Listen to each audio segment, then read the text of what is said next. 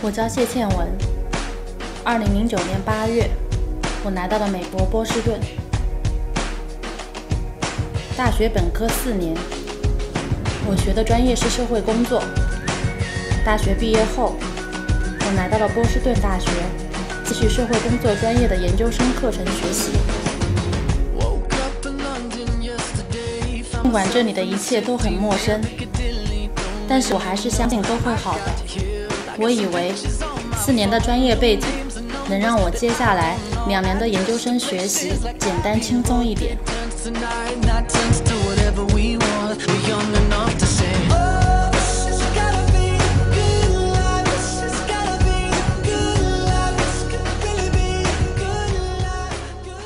刚把住处安置好，就收到了学院发来的邮件。邮件里说。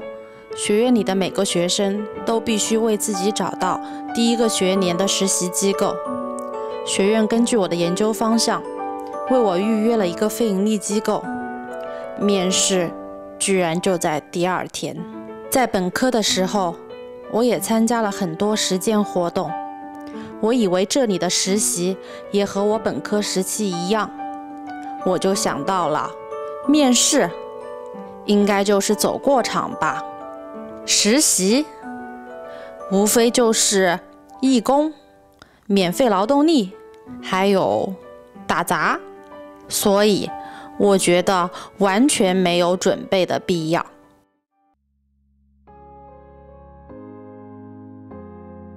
负责实习的老师和我进行了非常严肃郑重的交谈，他说我的面试不成功，后果很严重。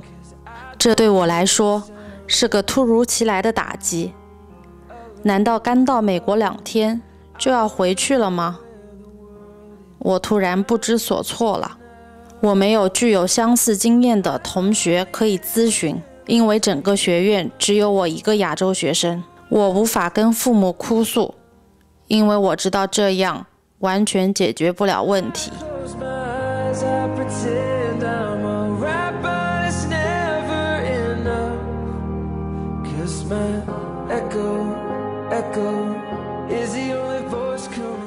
这个打击让我明白了很多事情。第一，在美国，社会工作这个专业的实习就等同于正式工作，它不是我所想的免费给别人打杂。第二，在美国生活学习，对待每件事情都要认真，并且有所准备。最后，从现在开始，我只能依靠自己。我必须立刻行动起来，为自己争取在美国学习的机会。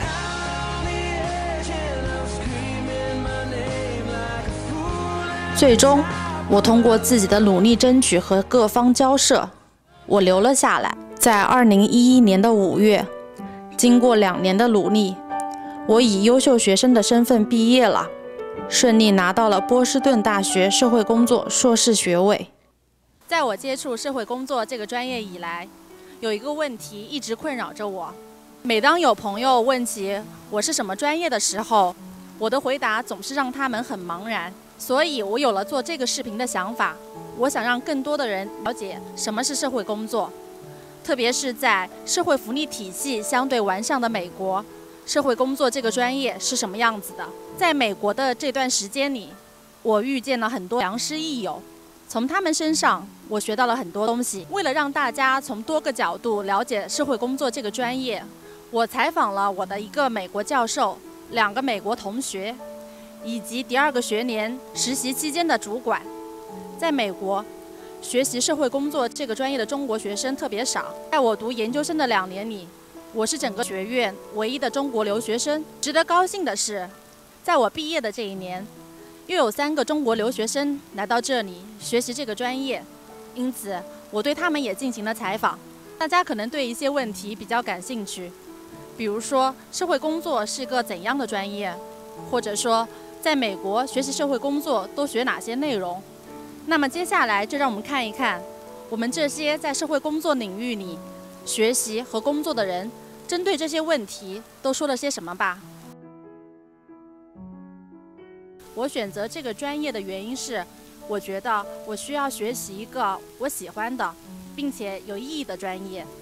我喜欢做与人接触的工作，我觉得帮助他人能让我快乐，也让我觉得有价值。因为之前在大学的时候做过很多像 NGO 之类的志愿者组织，所以觉得通过这些机会，然后就觉得呃能够在某些形式上帮助别人，可能也是一种很有意义的事情。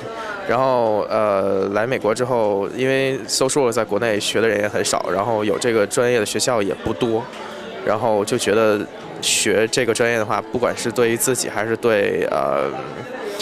不管是从现在来说，还是对以后来说，可能都是挺有帮助的。我主要是对 NGO 这个组织特别感兴趣，因为现在国内的 NGO 组织不到二十家，所以它整个系统是不是不是很完善的？所以我我想了解一下它是怎么运作，在美国的发展情况。我来读这个专业的一个主要原因就是我自己的宗教信仰，因为我是个基督徒，所以我觉得 social work 它的这个学习的方向跟我的宗教信仰是一致的。所以我就选择 social work 这专业。My name is Bonnie Wennerstrom. I'm a social worker. Um, I went to the Boston University School of Social Work. I graduated in 2011. My major was clinical, and right now I do an intervention for military families who have young children where one of their parents is coming back from being deployed. I chose to go to social work school mostly because I wanted to help people and do work in um, direct service, um, which is working with people to make their lives better. Uh, my name is Eliza Krevla, and I got my master's in social work from Boston University. Um, and I currently work at Generations Incorporated. I'm the Active Aging Initiative Project Coordinator. Uh, so I chose social work and I specifically chose macro social work um, because uh, basically uh, it's a major that addresses people, uh, people who are in need and um, works on social problems. So first of all, it looks at people within the context of their larger environment and society, which I thought was really important, that we don't just, you know, look individually, but we're seeing what's going on around them.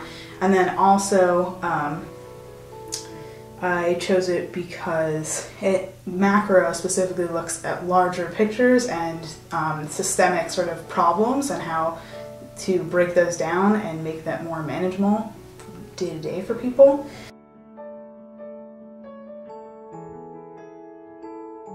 I'm Lee Staples. Uh, I have a uh, master's in social work and a PhD in sociology and social work. I teach macro practice uh, with a specialization in community organizing here at uh, Boston University School of Social Work.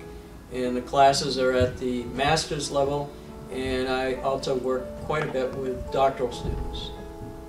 In this country, uh, social work covers a huge area, uh, working with individuals, working with families, working with small groups, and also working in the community um, as well as in organizational settings, uh, in industry and, and so forth.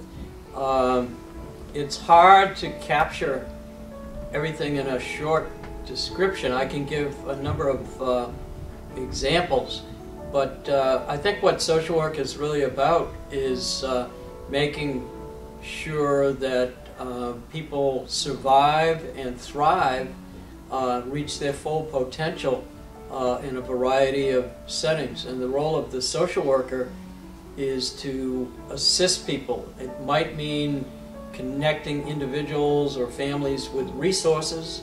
It might mean working with a community so that they can take action on their own behalf to uh, improve things at a, a much larger systemic level.